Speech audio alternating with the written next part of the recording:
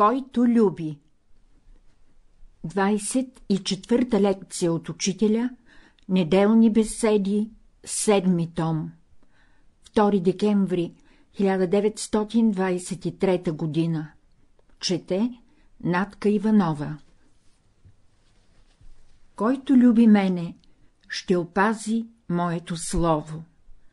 Евангелие от Йоанн, 14 глава, 23 стих Тия думи Христос е изказал преди приблизително 2000 години, но те съществуваха и по-рано, не се родиха тогава.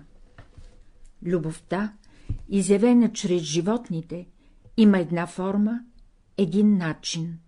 Любовта, изявена чрез хората, има друга форма, друг начин, а любовта, изявена чрез ангелите, също се отличава. Когато говорим за любовта, някои казват — разбираме какво нещо е тя. Така биха казали и животните. Нима мислите, че животните не любят? Като сравнявам любовта на телици към техните малки, виждам, че и те любят тъй интензивно, както майката люби своето дете. Разликата е само в това, че детето на телицата остава по-кратко време при нея, а човешкото — по-дълго. Любовта, която съществува между животните, е по-кратковременна. Вземете една квачка. Докато са малки пиленцата й, тя проявява своята любов, готова е да жертва своя живот за тях и ги вика, дава им малки зрънца, щом израснат, ги пропъжда. Това клъвне, онова клъвне, пропъжда ги от себе си. Питам сега съвременните психолози, проучили ли са това състояние? Те бързо решават. Кокоша работа. Е, мислите ли, че тази работа е маловажна? Кокоша работа било явлението, но това не изяснява нещата. Мислите ли, че като се каже за нещо, е, човешка работа, нещата се изясняват? Мислите ли, че всичко, което хората вършат, е разумно и тази любов, която проявяват, е разумна? Христос, казвайки тия думи, влага нещо в тях. Казва, който ме люби, но не спира там, спира се върху едно качество на любовта. Който ме люби, ще опази моето слово. Някои казват, това го знаем, ще опази моето слово. Но слово може да има само в едно разумно същество, а самата разумност се отличава с известни качества. По какво се отличава диамантът? По своята твърдост.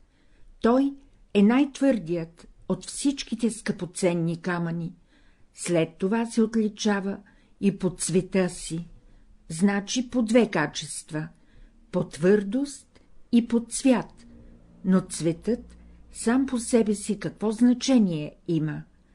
Някои ще кажат — ние знаем цвета му. Не, цветът е външната страна на нещата. Всичките цветове са космически сили, които проникват целия космос. Ние казваме, че на някого се е зачервило лицето или е потъмняло и там спираме, но зад тази червенина се крие нещо. Когато къща избухне в огън и бъде обхваната от пламъци, благо ли носи този червен цвят? Около пламъка са се наредили тулумбаджии и гледаш, след един-два часа от този пламък всичко е изядено, всичко е загубено и само няколко дирека стърчат. А някои казват — да съм червеничък малко. Мислите ли, че червеният цвят няма да изцапа и вас така, както тази къща. Мислите ли, че ако изцапа къщата, вас няма да разруши? Всички искат да бъдат червени. Майката иска нейното дете да бъде червено, мъжът иска неговата жена да бъде червена, всички искат все червения цвят. Умните хора са се спрели и мислят. Мъдреците и пророците в миналото са знаели тия неща, а сегашните хора смятат, че като могат да декламират думи от писанието, са наясно, какво е искал да каже този пророк. Докато пророкът напише тези думи, знаете ли каква дисциплина е минал? Апостол Павел, при все, че е имал дълбоки познания по писанието, е казал, че има откровение, но как го е добил, сам си знае. Онези, които имат неговата опитност, сами си знаят, как се добива откровение. Ще ви приведа примера за апостол Павел. Той първоначално е проповядвал едно, но след като го биха, след като му удариха пет пъти по 35 удара, написа едно послание и каза — с много скърби ще влезем в Царството Божие. Какво се крие за тези удари, на какво се дължат те? На червения цвят. Само един човек, на когото лицето е червено, може да те бие. Значи, с много скърби ще влезем в Царството Божие. Всичките скърби в този живот произлизат от червения, кървавия цвят. Аз се спирам върху тия думи, за да наблюдавате вашето лице. Сега говоря на онези, които ще опазят Словото. Тази реч не се отнася до другите, те са свободни, тя се отнася до разумните, които ще опазят Словото. Всеки от вас трябва да наблюдава своето лице. Човек трябва да наблюдава и своя ум, трябва да наблюдава и своето сърце, трябва да наблюдава и своята воля, да знае кой цвят преобладава в дадения момент. В писанието се казва, че Бог е светлина. Той е онзи възвишен, светъл цвят, който включва всички цветове, а всички цветове са видоизменение на божествената светлина. Аз говоря върху любовта, понеже съвременният свят, съвременната цивилизация се намира в един преходен период, в края на своето развитие. Когато старец дойде до 120 годишната си възраст, какво го очаква?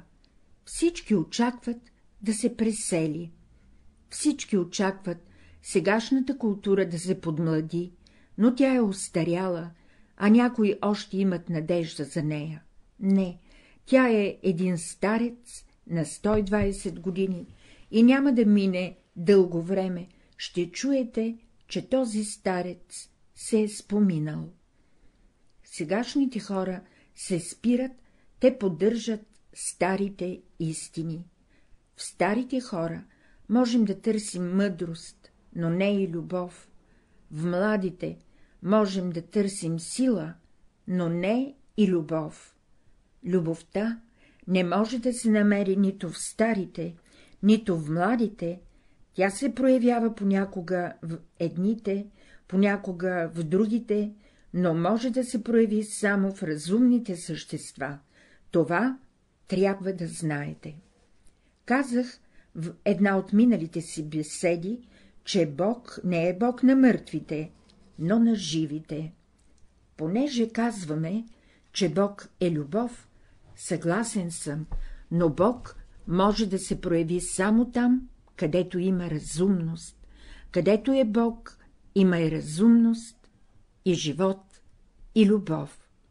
Сега съвременните хора се стремят към живот, искат да бъдат щастливи, здрави, учени, силни. Всички улеснения могат да имат, затова е създаден светът, но трябва да знаят, че е създаден от Бога, който е най-умен, най-мъдър, най-силен. Ние не можем да предполагаме, че Бог, който е най-разумен, може да иска един свят, в който да съществуват мизерия и нещастия. Ако съществуват мизерия, страдания, това се дължи на съвсем други причини. Който ме люби, ще опази моето слово. Кое е неговото слово? Майката, за да опази словото на Христа, трябва да отгледа своето дете не само физически, но да влее в него нещо от себе си, от любовта си, от разумния си живот. Трябва да го научи на онези велики принципи, върху които е съграден самият живот. Сега някои от съвременните християни имат тази опитност и не трябва да се спирате на нея. Спрели се човек на едно място, не е добре. Някои от вас мислят, че са завършили своето развитие, че всичко знаят, други мислят, че като прочетат писанията, всичко са разбрали и казват — това е то всичкото. Не е всичкото в тази книга, тя е една малка опитност, но къде е опитността на ангелите, къде е опитността на тези светии? Апостол Павел е казал много малко неща и Христос е казал много малко неща. Къде е онази любов, която Христос проповядваше на кръста? Всички говорят за нея, но колко християни има, които изявяват Христовата любов? Колко майки има, които изявяват Христовата любов? Тогава аз определям великия закон така. Любовта включва благото на всички същества. В разбирането на Словото Божие трябва дълбока мисъл не само по ум, но дълбока мисъл, в която да взима участие сърцето, в която да взима участие и човешката воля. Има някои въпроси, които ще се разрешат само по един опитен начин. Аз ще ви приведа следния пример. При един велик индийски адепт, който се занимавал с окултните науки и добил голяма опитност от своите учители, когато бил на 18 годишна възраст, идва един ден бедна майка и му оставя своето малко дете, да го погледа, докато се върне, като му казва — ще бъдеш тъй добър, отивам на работа, ще пазиш днес детето. Той се съгласява да й услужи. Тя отива на работа и оставя детето в корицето му. Както си работи този адепт, вижда една кобра, която приближава детето. У него се събужда желание да го избави, но веднага си казва — а, Брама, който го е създал, няма ли да се погрижи за него? И се отказва да изпълни желанието си. Кобрата се приближава, охапва детето и то умира. Майката се връща вечерта при адепта и той й казва — една кобра охапа детето ти и то умря. А защо ни го пази? Такава е волята Божия. Ти положително ли знаеш, че това е волята Божия? Така мисля. Аз пък мисля обратното, че детето ми трябваше да живее. Вика го тогава Брама. Защо днес не помогна на това дете? Защо не уби кобрата, за да го спасиш? А защо да я убивам? Аз не исках да опитнявам ръката си. Ти създаде кобрата, ти създаде и детето. Ти мислиш, че изпълняваш моята воля, като не уби кобрата, и затова не опази детето, но нямаше ли да изпълниш волята ми, ако я беше убил? Всъщност, Този адепт можеше да не убива кобрата и пак да запази детето. Той можеше само да я хване с двата си пръста и с пръчицата, да й каже — не ти е тук мястото. Сега червеният цвят у нас е цветът, който убива всички хора. Кого не убива и не разваля? Той разваля и семейства, и държави, и общества. От памти века всичко разваля, всички войни се дължат на него. Като се вдигне червеното знаме, всички се убиват и кръвта започва да се лее. Като се избият толкова хора на бойните полета, останалите се връщат окичени с знамена и знаци. Е, трябва да се бием за благото на нашия народ. Покажете ми, кой народ не се е бил и като се бил да е прокопсал? Къде са тези народи от старата древност? Римляните, египтяните, асирийците, вавилонците? Къде са тези народи, които мислят, че като се бият, ще възстановят правото си? Да оставим народите, та и съвременните домове се бият. Ние казваме, трябва да пазим своите интереси. Любовта трябва да се пази само за нас. Я ми кажете една фамилия, която да е запазила поне за 2000-3000 години своята фирма, да ни я е и загубила? И в какви иллюзии се намираме ние, а в любовта има една непреривност. Трябва да има постоянна връзка между Бога и човека, не Бог по форма, а Бог като любов. Казват, а, любовта. Да, но любовта включва разумното слово на човека. Сега, когато се запознаем с тази велика истина, пред нас ще се отвори велик свят. Всички желаят да говорят с един умен човек, но никой не желая да отиде в лудница и да се разправя там с хора, които не мислят. Казва Христос, който ме люби, ще опази моето слово. Един обект трябва да имаме. Следователно, най-първо Бог се проявява вътре в нас. Тази любов ще дойде. Как? В теб ще се зароди една малка искрица, и ако не загасиш тази искрица, любовта, Бог ще дойде. Важно е, че Божията любов не започва с червения цвят.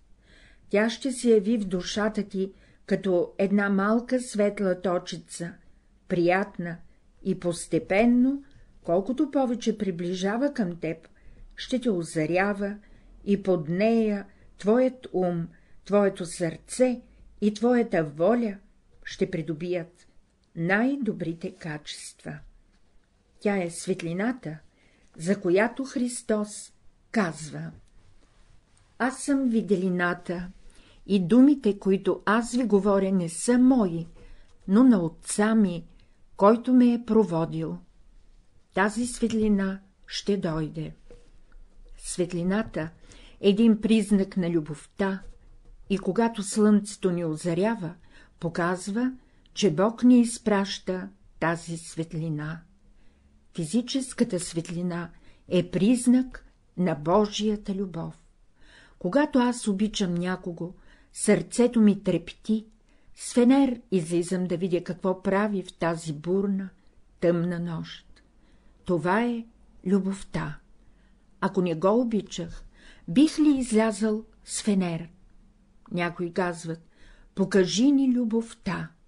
Когато излезете вечер и видите звезди по небето, какво показват те?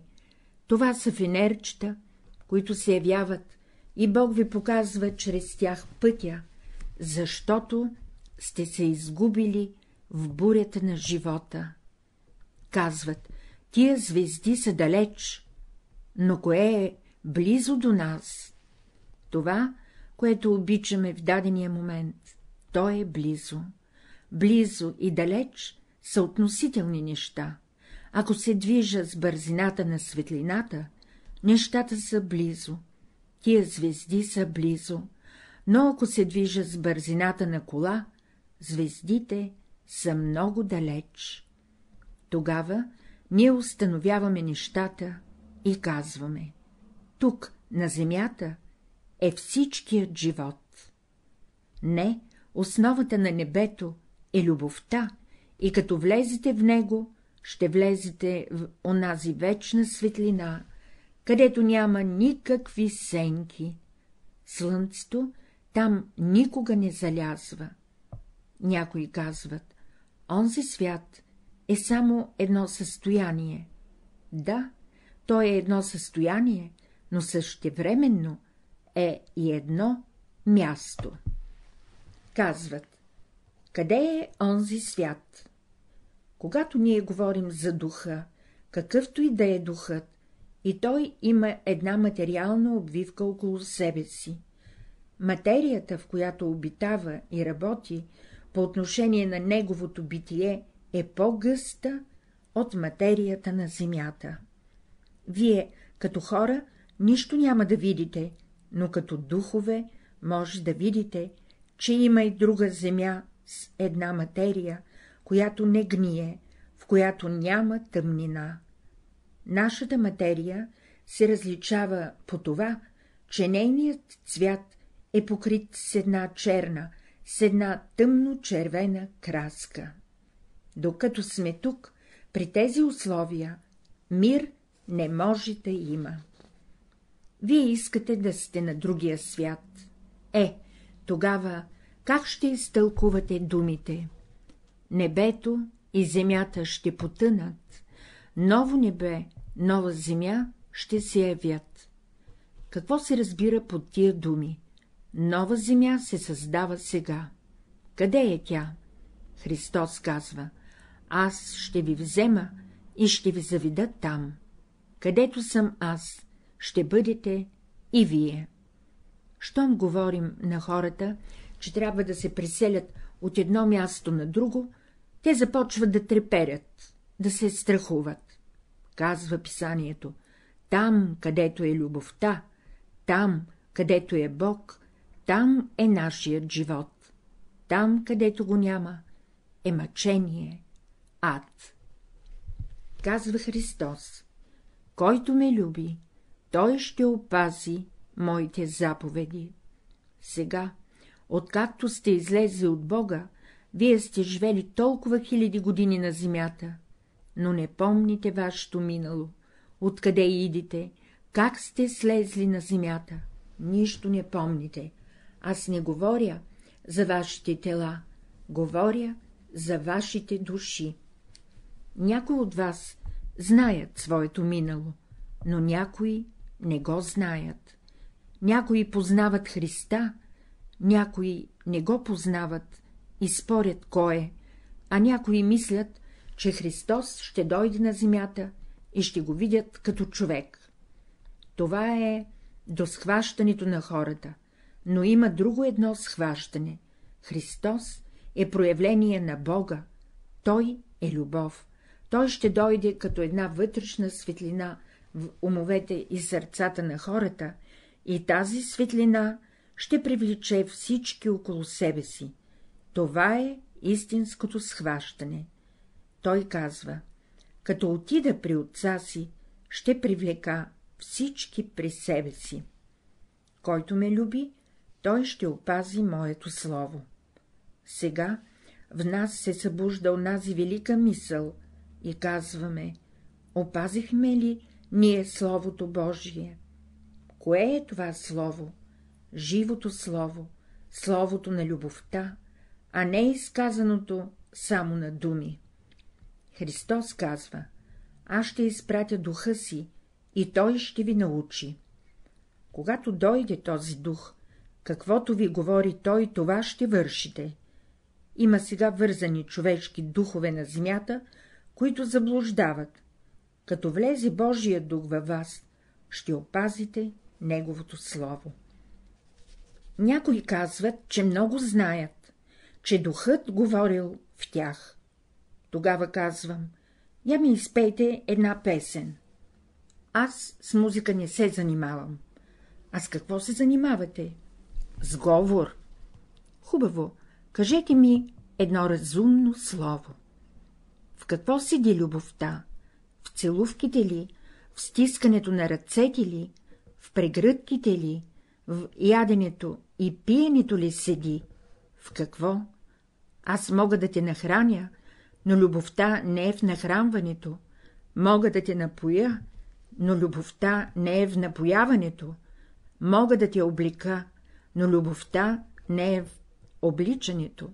Мога да ти дам знания, но любовта не е в знанията. Всички блага мога да ти дам, но любовта не е вътре в тези блага. И ние, съвременните хора, се заблуждаваме. Майката, като храни детето си, мисли, че той един ден ще я гледа. Но детето не е в това тяло. То се проявява в тялото, но това тяло ще се измени, в него има една разумна душа. Ако майката може да влезе в интимни връзки с душата на детето си, то ще я разбере. Ако не е в състояние да влезе в интимни връзки с душата му, то ще я забрави. Причината за слабата връзка в животните е тази, че между тях има само външна връзка, която се заличава. А у хората при сегашното им развитие има друга, разумна сила, която ги свързва. Сега ние, съвременните хора, се срещаме и се питаме — ти от каква народност си? Мислят, че българите се обичат повече като българи, но не е вярно. За интересите си някой път може, но любовта не признава никаква народност. Любовта не признава никаква религия. Любовта сама създава религиите. Религията е за земята. Божията любов седи извън всички църкви. Църквата е Христовата църква, а главата на тази църква е само Христос. Питам, в коя църква се намира днес Христос? Къде е Той? Ако ми кажете, в коя църква е, аз съм първият, който ще отиде да поприказва с него. Доколкото зная, Христос не е в никоя църква. Това не е в ощърп на църквата, но говоря една истина. Ще кажат някои, че църквата е Божия. Че е Божия, Божия е, но Христос да е вътре в тази църква не е, защото тя е облечена с червена дреха. И като четете писанието, казва се за църквата — в мантия е облечена тя. Това е външната страна. Сега аз нямам нищо против вярващите, но казвам, че църквата, според досегашните схващания, според сегашното състояние, в което се намира, не може да направи нищо. Какво може да направи тя в тези времена?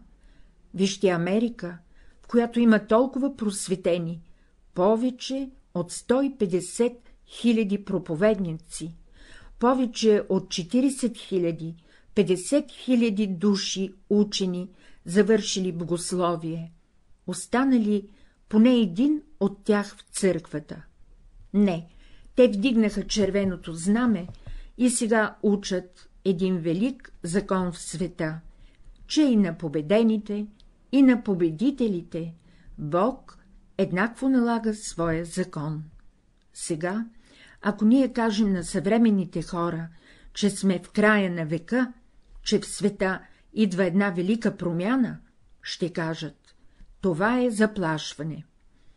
Ако на японците преди 6 месеца бяха казали, че ще дойде едно голямо земетресение, след което Япония ще остане второстепенна държава, щяха да се присмеят, но сега това е факт.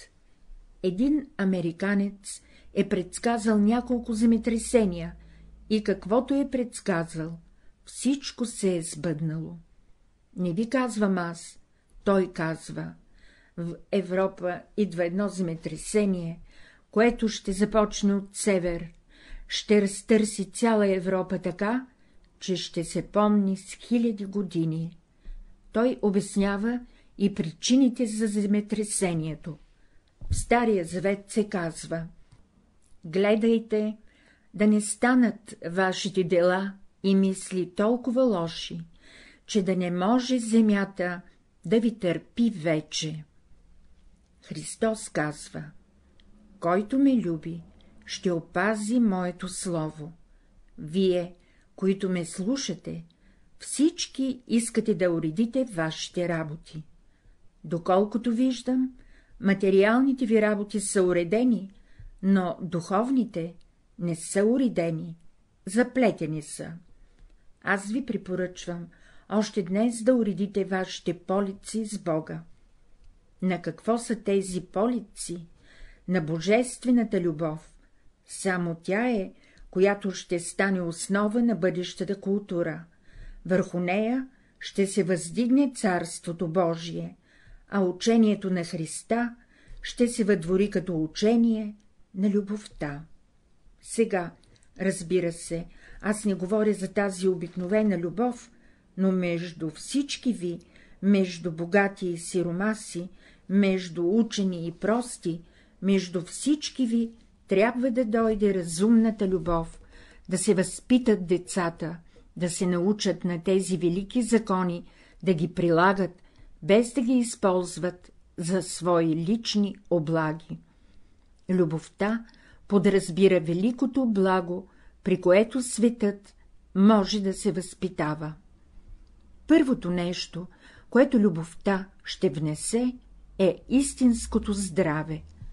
Това увеличаване на болестите е признак на нередовен живот, т.е. царува любовта със своя червен цвят. Всеки гняв, всяка възбуда, всичко това спира възвишените и благородни мисли и прояви в нас, и ние, като остаряваме, наместо да поумняваме, оглупяваме. Забележете, всички стари хора започват да се дразнят, да оглупяват. Защо? Днес ги дразнят, утре ги дразнят, постепенно един червен цвят започва да избива на лицето им и оглупяват. И ако си писател или философ, и по отношение на теб ще се намерят същества, които искат да те усмиват. Ние казваме, че на всички хора е необходимо въздържание. Онези благородни хора, които искат да запазят своя живот, трябва да контролират червената сила на природата.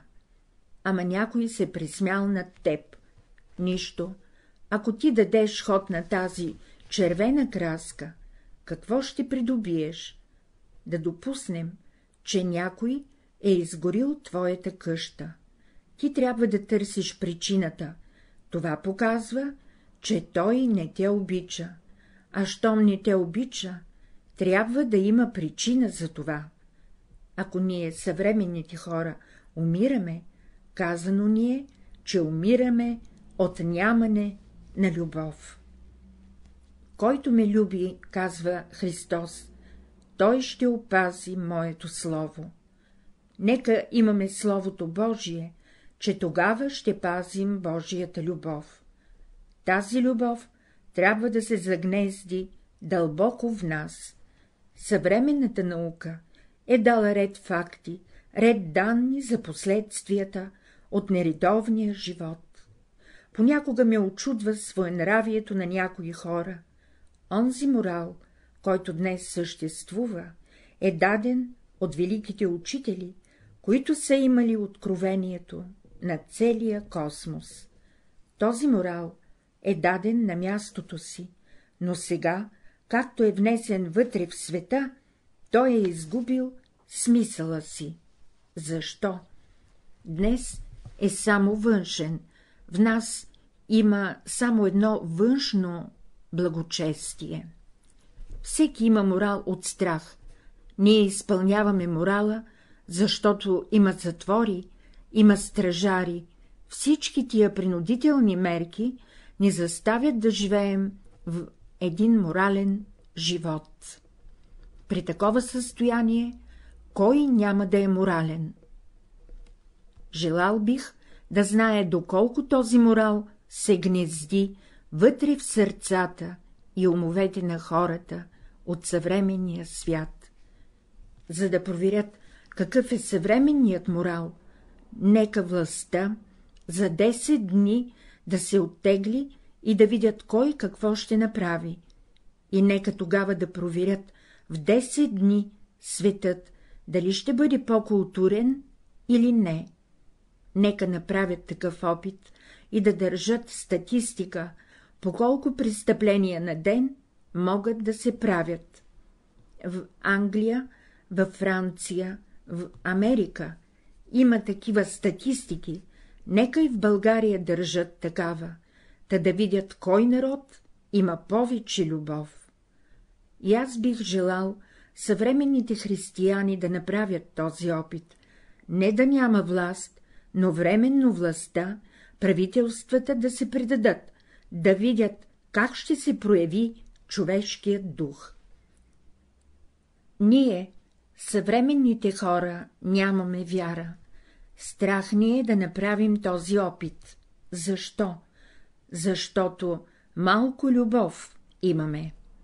Знаете ли примера за онази царица, която искала от мъжа си властта да управлява само три дни? Той и казал — нямам вяра в теб. Как? Аз те обичам.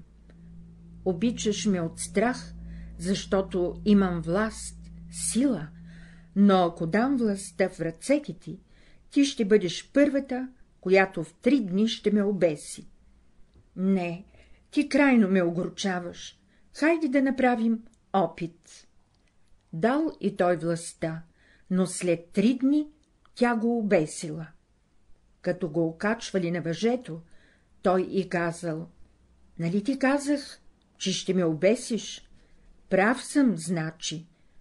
Е, казала тя, съзнала се и закрила очите си. Сега вие ще кажете, колко жестока е била тази царица. Не е така. Ами онзи мъж и онази жена, които се кълнат пред ултара, че ще се обичат и ще си бъдат верни, издържат ли? После всеки от тях си намира по-хубав мъж или по-хубава жена. Не казва ли той, е, ще потърпиш малко, нали знаеш, че аз залюбих, ще си намериш друг. Това не е разбиране на любовта, това е любов само по форма, но не и по съдържание. Аз намирам, че обесеният цар също не е бил много умен. Той не трябваше да даде властта на жена си и да чака, а трябваше да си вземе паспорт и да й каже — ще ти дам властта за три дни, но в това време ще отида в странство, и ако има нужда от мен, ще ме викаш, а ако няма нужда, ще управляваш, както знаеш. Умен трябва да бъде. А той седи и чака какво ще направи жена му. Ето къде е погрешката. Следователно, ние понякога не проявяваме своята любов, а очакваме. Мъж който от жена си очаква това благо, е окачен на въже и жена, която от мъжа си очаква това благо, е окачена на въже. Все на въже са окачени. Христос казва, който ме люби, той ще опази моето слово. Някои се чудят, защо Христос си замина. Той казва, който вярва в мене, и по-големи чудеса ще прави. Даде им своята власт, остави ги на земята, но знаеше какво ще правят с него. Той им даде властта и те го разпнаха. Сега седят, молят го отгоре. Господи! Христос пита съвременните християни — има ли нужда от мен? Христос казва — който ме люби, ще опази моето слово. Сега аз се обръщам към онези ученици, които желаят да се повдигнат. Това учение на любовта не е учение за децата. Другите могат да живеят както искат, но онзи ученик, който е учил 4 години в университета и държи изпит за докторат, трябва да застане на нозете си и да защитава своята теза, да я доказва. Само така може да получи докторат.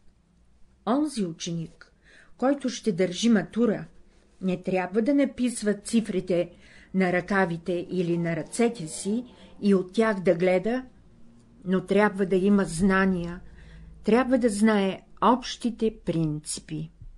Някои от тези принципи не са на мястото си, но онези, които са необходими за живота, той трябва да знае, за да издържи изпита си. Ако не може да го издържи първият път, да се яви втори, трети, но да го издържи. Сега ще поставят на изпит всички ви. Този отец, за който ви говори Христос, той ще ви постави на изпит за любовта. Изпит идва за всички хора. И след като ви пресеят, на онези, които останат, ще се дадат нови условия за развитие. Земята ще се пресее, ще остане наследството само за добрите хора, ще останат само тези, които разбират любовта и които издържат изпита на любовта. Съвременните хора ще проверят един закон. Няма да остане на земята нито един престъпник.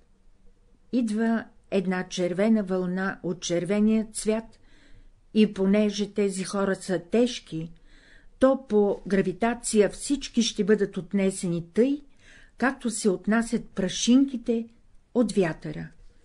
Понякога ми е чудно, когато добрите хора казват — какво ще стане с нас? Ако вие имате един възлюбен, който е силен, можете ли да го питате, какво ще стане с мен?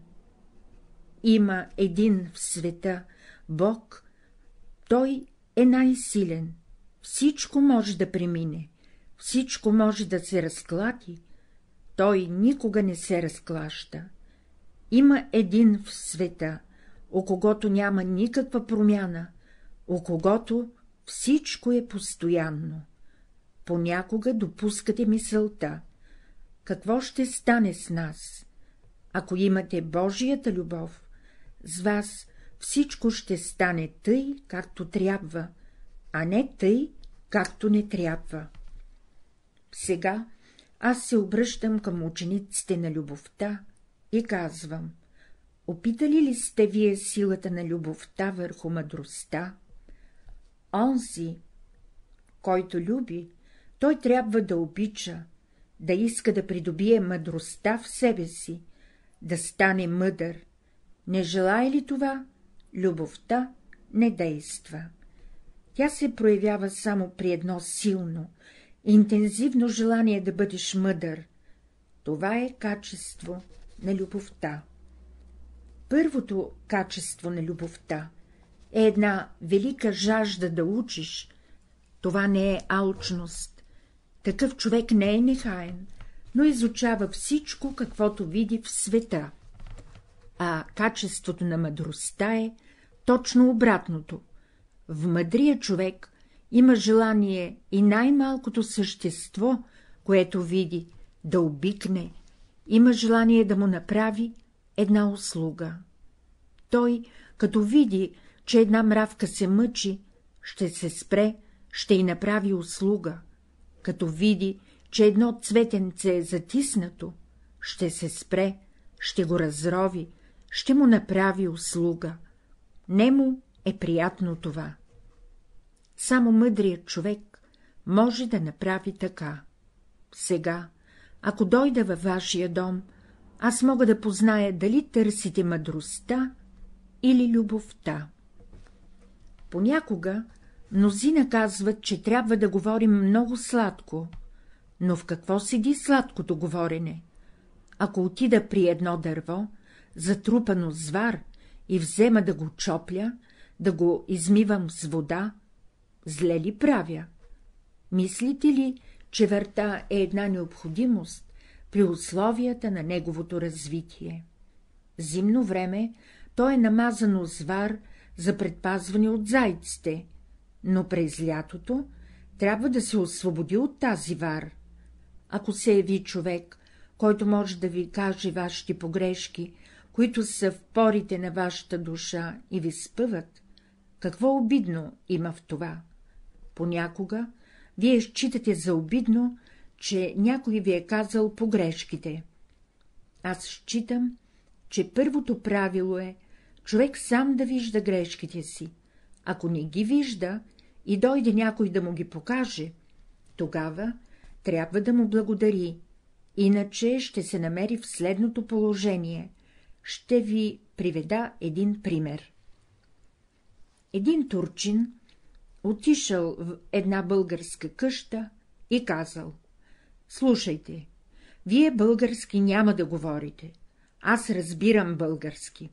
Ако кажете нещо лошо, ще ви разбира, ще говорите на турски. По едно време той запалил чибука си, но искра паднала от него и чалмата му започнала да гори. Бабата, като го видяла, казала му — ага, чалмата гори, а той — не разбирам.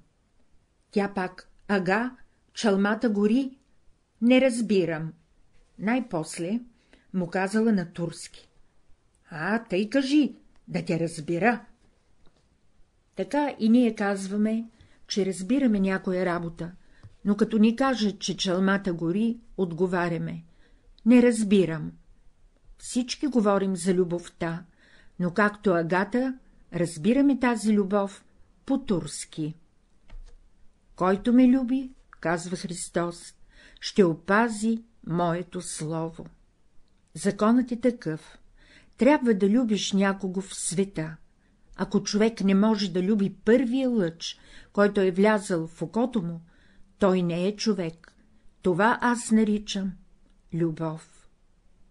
Първият лъч, който влезе в твоя ум, първият лъч, който влезе в твоята душа, първият лъч, който внесе тази радост, ти трябва да обичаш.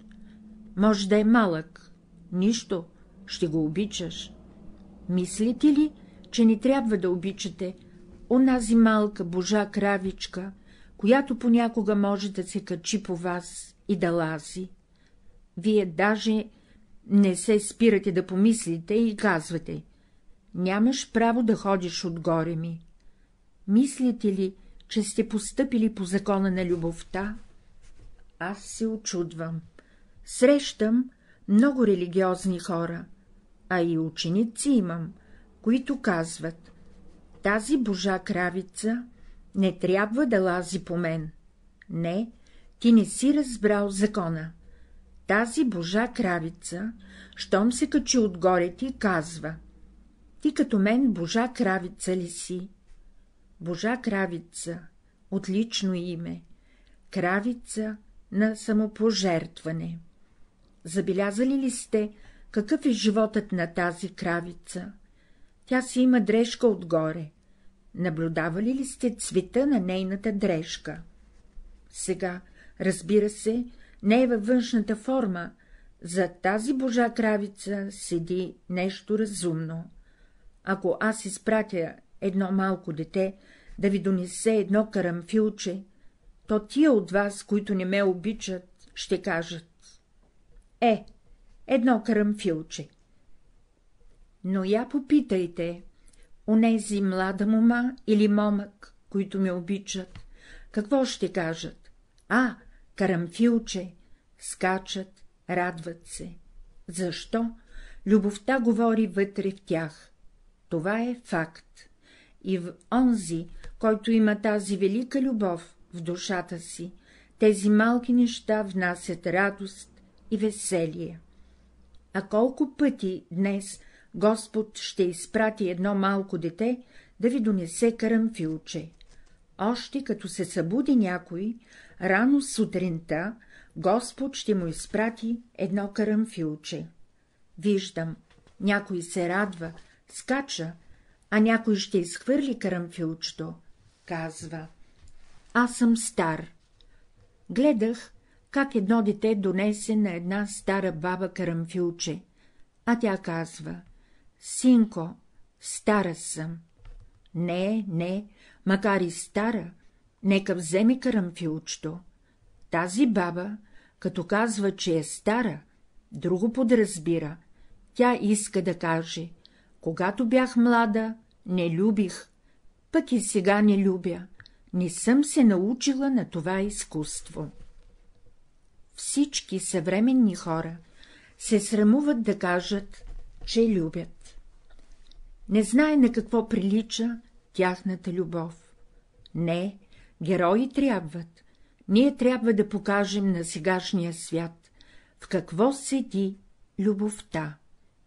Мъжът направил една погрешка, жената трябва да се прави, че не разбира нищо, че нищо не е видяла. Онези, които разбират това учение, които вървят по Бога, трябва да покажат този пример. Тъй разбирам аз. Седите някъде, някой е казал нещо несвързано. Тихо и спокойно мислете само за любовта, а вие мислите само за общественото мнение. Мъжът направил хубава дреха, жената ни я харесва да се прави, че нищо не вижда, да я остави настрани. Ето откъде трябва да започнете вие, но колко сме слаби. Аз опитвам, опитвам, правил съм опити и още резултати не са дали. Например, правих опити между двама ученици, и то ученици, които говорят за философия на окултизма. Дам им по две хубави ябълки и ги гледам в лицата. И двамата казват — учителят е много внимателен към нас. Изваждам от джоба си още една ябълка. Давам я на единия, на другия не давам. Мръдва сърцето на втория. Казва си, откъде на къде, той по-високо ли стои от мен? Казвам, аз ви разбирам, вие не ме разбирате. Защо му дадох другата ябълка? На този, на когото я дадох, казвам. Слушай, има един болен приятел, ще му занесеш тази ябълка и ще го поздравиш от мен. В природата излишък няма. Ако Бог изпрати своите блага излишно, той казва — ще станеш сутринта, весел ще бъдеш, и ще занесеш ябълката на болния. Следователно, Христос казва сега, който ме люби, ще опази моето слово. Опазването на това слово не седи в думите. Някой път можем да отидем някъде, да седим, да мълчим един час и да занесем своето благо, с мълчание да занесем много повече. Има два начина на говорене. Като мълчиш, ще принесеш това мълчание в душата му. Отидеш при някой болен, казва ти, много ми е тежко, попригърнеш го, погалиш го с ръце, той казва, как ми олекна, този човек сякаш ми взе нещо, доволен е. А можеш да отидеш при някой болен и да му говориш, ти си грешен човек, Бог те наказва, имаш да страдаш. Така му оставяш двоен товар. Мислиш, че това е любов? Не е. Сега вие ще ме запитате, какви са крайните резултати на любовта. Крайните резултати на любовта са да се опознаем, ние още не се познаваме. Знаете ли за какво опознаване говоря? Дойда във вашия дом, вие ме познавате, искам хиляда лева. На драго сърце ми давате. Втория ден дойда, поискам две хиляди лева. Давате ми, но като дойда до 10 000 лева, казвате, а, сега вече не мога. Значи до 10 000 лева ме познавате. Казвате, този човек иска да ни опропасти. Ако мисълта ми е да ви опропастя, да ви взема парите в името на любовта, това е голяма подлост, но ако след като ви взема 10 000 лева, искам да ви дам 100 000, да ви дам своето благо, това е любов. Следователно, любовта всякога мисли не за своето благо, а за благото на другите. Аз гледам сега, някои, които вървят в това учение, мислят, че Бог ги изпитва. Е, хубаво, ако те изпитва Господ, не е достатъчно само да издържиш, но отговори ли правилно при този изпит? Първото правило е, между учениците, между братята и сестрите, отношенията трябва да се изправят. Между майки, синове и дъщери отношенията трябва да се изправят. Между приятели отношенията трябва да се изправят. Между слуги и господари отношенията трябва да се изправят. Между учители и ученици отношенията трябва да се изправят, да станат отношения на любов. Над нас има по-висши същества, с които трябва да се свържем, и именно тия правилни отношения ще ни свържат с висшия свят. Ако ние се свържем с по-низшите същества, мислите ли, че ще придобием нещо? Някой говедар, който е пасал с години говедата, придобил ли е нещо? Нищо не е придобил. Ако ние живеем между съвременните хора и не се запознаем с Бога, ще останем невежи. Ако е да бъдеш говедар, бъди, но в турбата си трябва да имаш книги, да имаш връзка с хората, да знаеш какво става по света, да се запознат с небето, да се запознат с живота, с изворите, с цялата природа. Като погледнеш такъв говедар, да виждаш в лицето му един отличен говедар. Сега, при днешното възпитание на хората, някои сестри казват да бъдем милостиви. Знаете ли какво е милост? Милостта има блага не във времето и пространството. Тя има блага в човешката душа, извън време и пространство. Именно това разширение всички трябва да имате сега. И аз бих казал, любов без мъдрост не е любов. Едно от качествата на любовта е, че всеки, който люби, трябва да е мъдър, той трябва да е много внимателен, не пред външния свят, но пред Бога, да върши всичко, което Бог върши спрямо нас. Как мислите, природата пред нас мека ли е? Как да си обясните студа? Зимно време зъзнеш, трепериш, дойдат пожар, бури, глад, земетресения. Езикът на природата е езикът на Бога. Бог иска да ни събуди от дълбок сън, да не върне от един хлъзгав път, по който сме тръгнали. Забогатееш много, дойде някоя болест, затластееш, дойде някоя болест, направиш зло, дойде някое наказание. Мислиш ли, че това е зло?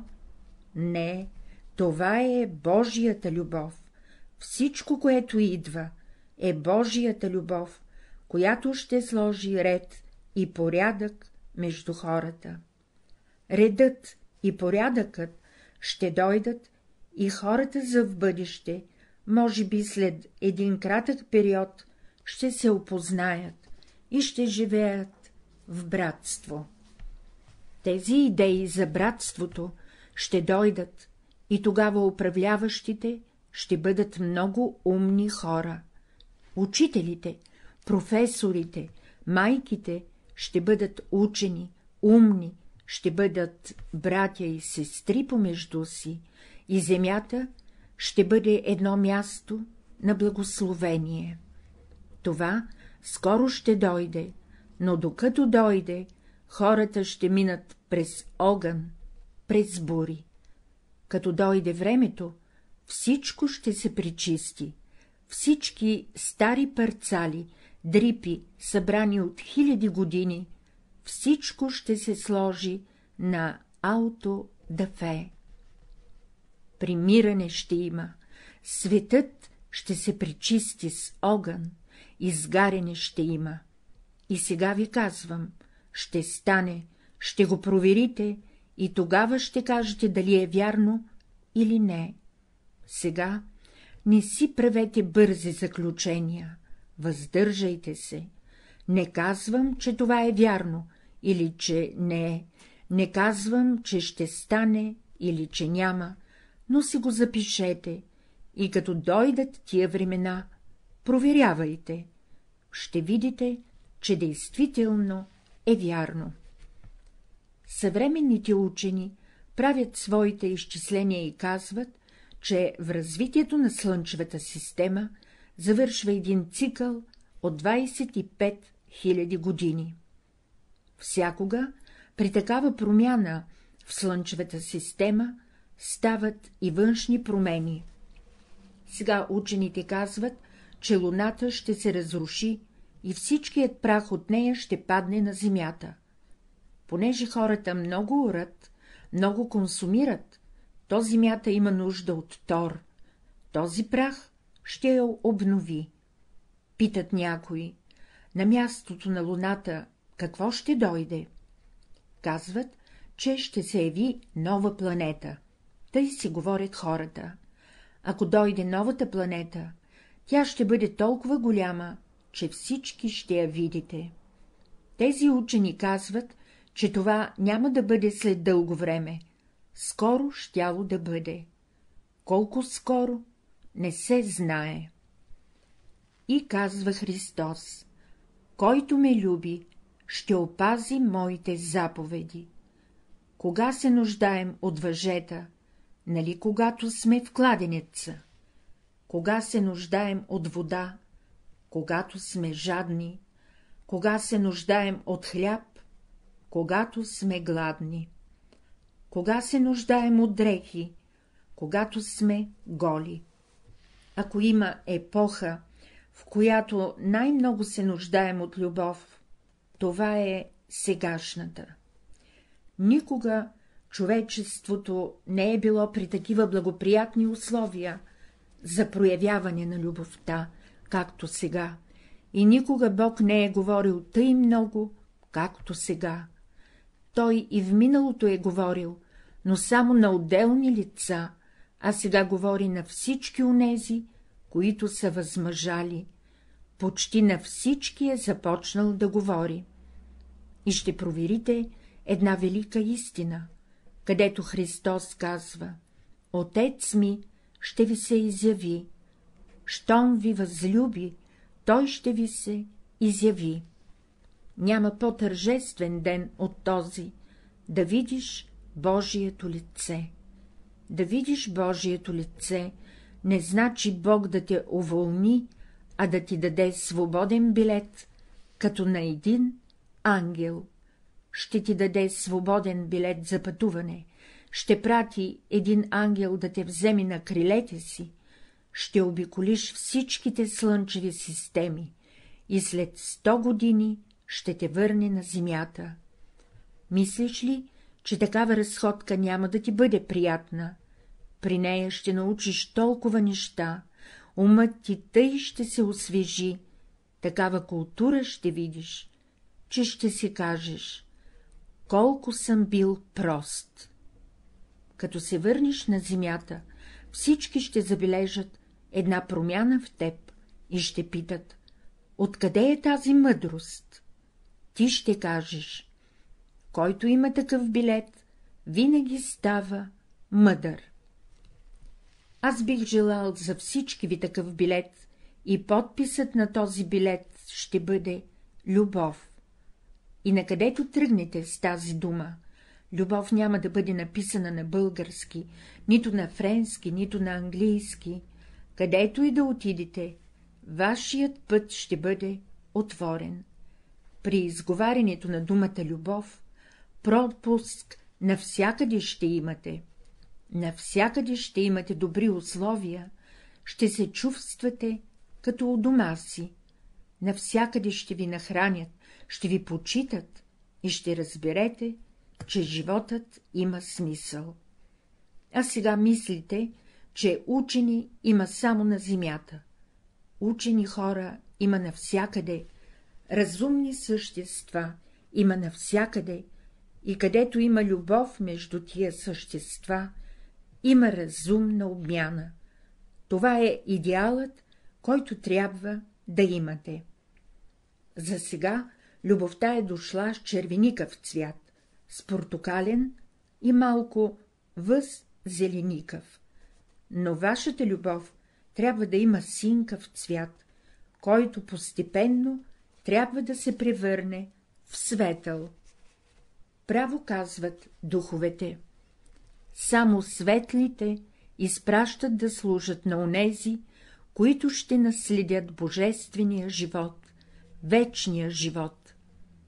Казва Христос, който ме люби, ще опази моите заповеди, който люби мене, и отец ми ще го възлюби, аз и отец ми ще дойдем и жилище ще направим у него. Сега да не изгубите интерес, да кажете, че светът ще се свърши и нищо не ни трябва.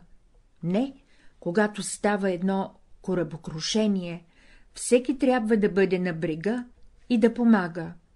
Всеки от вас трябва да бъде буден, готов да помага на страдащите, на оскърбените и да им даде утеха. Казват, смъртни са хората, какво ще стане с нас? Има един, който ще застъпи вашето право. Изпоядоха ни, живота ни взеха. Имайте любов и не се плашете. Има един, който се застъпва за вас. Той е силен. Светът ще се поправи, но с революция. Идва революция, идва картечен огън, и като дойде в Европа, континентът ще се разтърси от нея, от това земетресение. Няма да остане нито едно здраво здание на земята. Тъй казват учените, високо здание няма да остане. Всички монументи, всичко ще бъде смъкнато, нищо няма да остане. Това е една революция, за да ни освободи Господ от всички заблуждения. Тогава той ще каже — гледайте нагоре, и ние ще приличаме на онази какавида, която излиза от своя пъшкул, и на онзи човек, който излиза от своя гроб. Та какво, ние сме в гробищата? Мислите, че на онзи, който копае камъни на хиляда метра дълбоко в земята, му е много приятно? Нима мислите, че на онзи огняр, който е на парахода и на 24 часа се сменя, му е много приятно? Нима мислите, че на онзи работник във фабриката, при онзи шум му е много приятно? Тези неща са необходими за сега, но в бъдеще трябва да имаме фабрики, които не вдигат никакъв шум, тъй като влезеш в тях, да ти е приятно. За в бъдеще няма да има нужда да слизаме долу в земята, да копаем като картици, а ще взимаме нужната енергия от пространството и с нея ще се отопляваме и осветяваме. Всичко ще се измени. Който ме люби, ще опази моето слово. Тогава Бог ще ни разкрие един нов начин, той ще ни даде новите блага. Сега трябва да покажем, че у нас има един нов живот, нов принцип, че можем да приложим любовта. Когато и да е от вас, аз мога да опитам, доколко е неговата любов, неговата честност. Намирате се в крайна нужда и ви давам да занесете някъде 100 000 лева без разписка, само между мен и вас. По пътя ще се замислите, ще си кажете, да си услужа, а после ще се извините. По пътя срещнах разбойници, нараниха ме. Да, но и вие сте се наранили. Аз си мълча, замина си. Друг случай. Вашата дъщеря е млада, красива, девствена. Вие я поверявате някому да я приведе през гори и планини. Мислите ли, че няма да опитате неговата любов? Той трябва да я пази като нещо свещено. А колко пъти могат да се явят у вас тези нечисти мисли? Това не е култура. Любовта изисква от нас онова свещено чувство, да тачим живота на хората. И тъй, братя и сестри, трябва да хранят помежду си благородно чувство. Приятели, мъже и жени, всички трябва да имате най-благородни чувства помежду си. Синове и дъщери трябва да хранят най-благородни чувства и мисли към своите близки и приятели. Така е, ние се намираме пред един свят, пред една култура, където всичко ще се разкрие, няма да остане нищо неразкрито.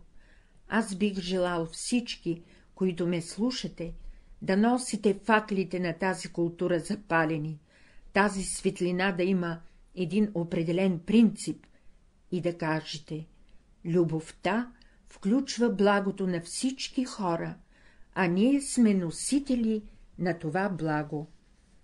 Сега, ако сте верни на думите Христови, то не е за в бъдеще, но още днес можете да имате един опит. Имали сте го, но и днес пак може да го имате. Тази любов ще дойде, във вас ще има едно прииждане, ще дойде едно просветление. С старите си сметки трябва да се простите. Аз, като ставам сутрин, често усещам един кръг наоколо, който ме стяга. Знаете ли на какво го уподобявам? В Стария завет има един пример за Самсон, за този герой, чиято жена искала да знае къде се крие силата му, а той понякога я поизлъгвал, не й казвал къде се крие. Като заспивал, тя го завързвала, но като ставал сутринта, той се освобождавал. Сега станете сутрин, казвате си, стягаме нещо главата. Вашата жена ви е вързала. Жената я стяга нещо, мъжът и я е вързал. Мъжът или жената, все едно, вързал те някой, като станеш ще кажеш — Бог е любов. Или, ако ме любите, ще опазите моето слово. Всяка сутрин, като станете, употребявайте тази формула. Имайте предвид, че като я произнесете, тази връв веднага ще падне и ще дойде светлина в ума ви. Имате да плащате една полица. Умът ви е стегнат, не знаете какво да правите. Произнесете формулата, ще се скъсат връзките. Скарани сте с някого, произнесете тази формула. Трябва да се скъсат връзките, въжетата, с които сте вързани. Всички сте вързани. Знаете ли, с какви връзки са вързани хората? С дебели, черни въжета. Казвам някому, направете това нещо, но той не слуша. Скъсайте тези въжета, защото казва Христос, който ме люби, ще опази моето слово. А там, където е Словото Божие, е и силата Божия. И тъй, бъдете носители на Словото Божие, опитайте го. Аз искам да приложите всяка една формула в живота си. Още днес можете да направите това. Всички недоразумения, всички караници, всички тия лоши неща, които имате помежду си, всичко скъсайте. Вие ще кажете, да дойде Христос, че тогава. Не, не, няма да оставяте нищо лошо в сърцето си. Аз, когато се събуждам сутрин, гледам как си препятстват хората. Неразположени сте. Кажете си, Бог е сега разположен, всички светове, всички ангели са радостни. Тук има някакво заблуждение. Тогава защо аз да се спъвам? Така си казвам аз, така си кажете и вие. На тази беседа, която сега ви държа, вие се усмихвате, казвате. Има някои думи, които особени ни се виждат. Законът е такъв. Вие ще скъсате тези връзки. Всички трябва да бъдете разумни. Сега няма да казвам да не се критикувате. Това са малки неща, обикновени. Станеш сутрин, кажи си. Бог е любов, тези светове са в щастие, в блаженство, няма нито един ангел на небето, който да е намръщен. Защо аз да съм намръщен? Ти си в странство, баща ти е богат. Не се плаши, ще дойдат парите, няма да чакаш слугите си, ще идеш да си ги вземеш от банката, казват. Бог ще уреди нашите работи. А не, Бог урежда работите наполовина. На онези, които орат и сеят, Бог урежда работите. На онези, които учат, Бог урежда работите. Ще станеш, ще учиш и хубаво ще учиш, тогава ще дойде истинското знание. Ще го приложим, ще орем и ще сеем. Вие искате да имате приятели. Как? Скръбен е вашият приятел, който и да е той. Направете му една услуга, без да знае това. Приложете любовта. Не ви казвам, че Христос е между вас. Не е между вас. Ще кажете, един от нас е, тук е, някъде е седнал. Не е. Христос е. Знаете ли какво значи е? Той е на работа сега, не може да дойде между нас. Стегнал се е и знаете ли как работи? Знаете ли какво значи работа? Той се е запретнал и работи тъй, както никога не е работил. Не е като онези българи, да се захласва. Никога не се захласва. Един българин отишъл в Америка, искал да преподава там френски език, но не могъл да се настани. Наемат го в една църква да духа духалото на един орган. Седнал на духалото, духал, духал, но като нямал пари, като бил затруднен материално, замислил се и си казал — какво да правя с този орган? Нямам пари. Да съм си сега в България, един учител да съм. Защо ми трябваше да идвам в Америка? Като се замислил, забравил да движи ръчката на духалото. Дошъл клисарят, казал му.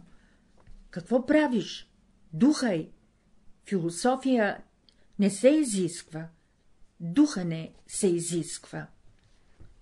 И аз ви казвам, не се изисква само философия.